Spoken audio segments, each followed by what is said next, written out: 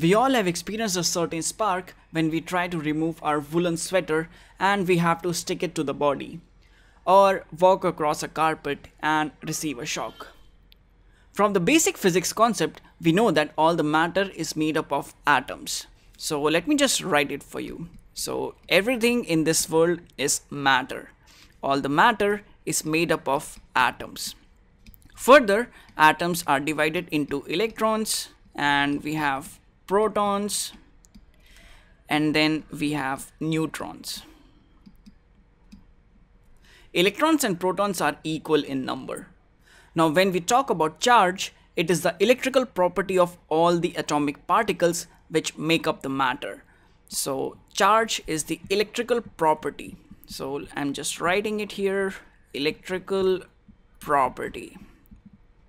And this is denoted as charge all right. So we have matter. All the matter are made up of atoms which is further divided into electrons protons and neutrons. Electrons and protons are equal in number. Charge is the electrical property of atoms. So this means that each and every atom in this world will have some amount of charge. Charge on an electron is equals to 1.602 times 10 to the power minus 19 coulomb. This is the magnitude of the charge on an electron and by convention we take the sign of this value to be negative. Similarly proton it will have charge of same magnitude so this will be 1.602 times 10 to the power minus 19 coulombs and the sign of charge on proton is taken as positive. Now since the electrons and protons are equal in number, atom is electrically neutral. So let me just write it over here. But before that, I'll change the color very quickly. So yeah. So atom is neutral. It's better to say electrically neutral.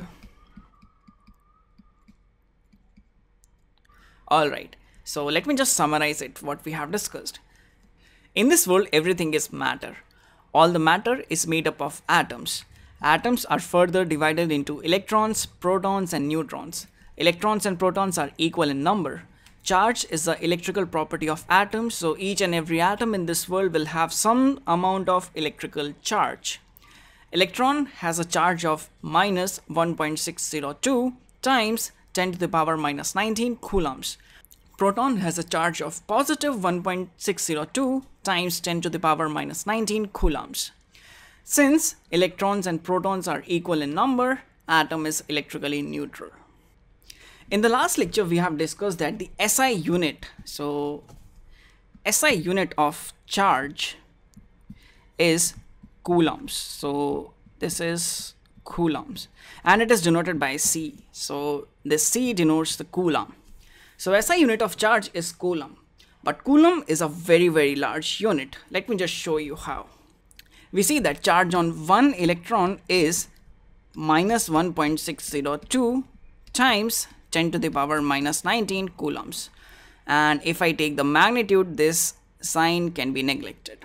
Alright, so charge on one electron is 1.602 times 10 to the power minus 19 coulombs. Now let's apply some unitary mathematics.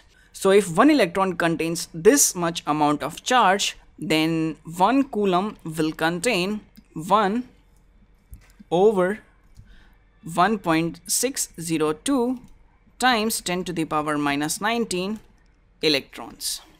And this fraction right over here turns out to be 6.24 times 10 to the power 18 electrons. So see that one coulomb contains so many electrons. So now you see that coulomb is a really, really large unit. That is why in reality, when we talk about charges, they are measured in picocoulomb or nanocoulomb or even microcoulomb. Picocoulomb stands for 10 to the power minus 12 coulombs. Nanocoulomb stands for 10 to the power minus 9 coulombs. And we have microcoulombs over here. This stands for 10 to the power minus 6 coulombs. All right. According to experimental observation, the only charge that can exist in nature is integral multiple of electronic charge. So let me just show you what I mean. So it means that we can only calculate charge in integral multiple of electron. So there will be only one electron, two electron, say five electron, and how about 99 electron? There won't be any 1.5 electronic charge or 2.333 electronic charge. No, all these things are wrong. So there will be one electronic charge, two electronic charge, five and 99 and any other integral multiple of the electronic charge. And charge on one electron is 1.602 times 10 to the power minus 19 coulombs and of course a negative sign over here. Alright, so this is an important point and, and you definitely need to remember this. So I'll just mark it in, in red. So this is important. Alright, so let's talk about let's talk about one more important point that is law of conservation of charge so let me just write it law of conservation of charge so this states that charge can neither be created nor be destroyed so no creation no destruction So charge can neither be created nor be destroyed. It can only be transferred from one source to another. Let's see an example and try to understand what I mean. Suppose you have a conducting wire. So I'll quickly draw a conducting wire over here.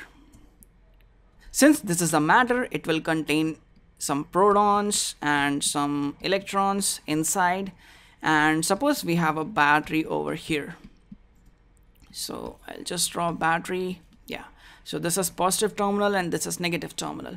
Now you connect battery to the connecting wire like this. Now see that the conducting wire on its own does not contain any electric charge.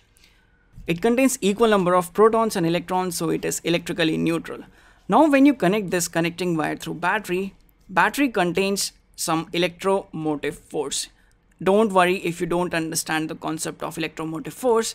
This is some sort of force which is stored in battery. When you connect the connecting wire through the battery, some amount of force will be applied in one direction to the conducting wire. Now see that some amount of energy is transferred from battery to the conducting wire. No charge is created and no destruction happened. Only some amount of charge is transferred from battery to the conducting wire. So this states law of conservation of charge. Now when a conducting wire is connected to the battery, charges are compelled to move. Positive charges move in one direction and negative charges move in the other direction. So let me just mark it. All the positive charges will move let's say from left to right. So all the negative charges will move from right to left. This motion of charges creates electric current. Now it is conventional to take the direction of positive charges or protons as the direction of current. So protons are moving from left to right, so direction of current will be from left to right as well. So this is I current. You can say that the direction of current is opposite to the direction of electrons. So let me just write it over here for your reference.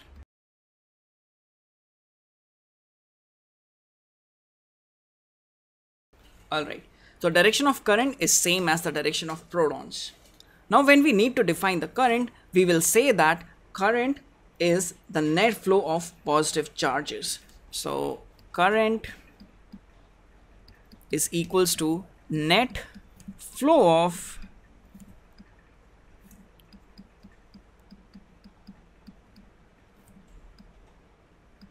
positive charges. So let me just write this statement mathematically. When I say net flow of positive charges, I mean that I is equals to difference in charge over difference in time. So this is the net flow of charge over time. This is the formal definition of the current which we will be using throughout this course. Current is equals to net flow of charges over time. Okay. When we need to calculate the amount of charges transferred between time t0 to t1, we will write it as q equals integration from t0 to t1 i of dt. This will give us the net amount of charge transferred between t0 to t1. It's a good practice to maintain a formula book. I will attach the links to my formula book which we will be building throughout the course. Let's talk more about current in the next lecture.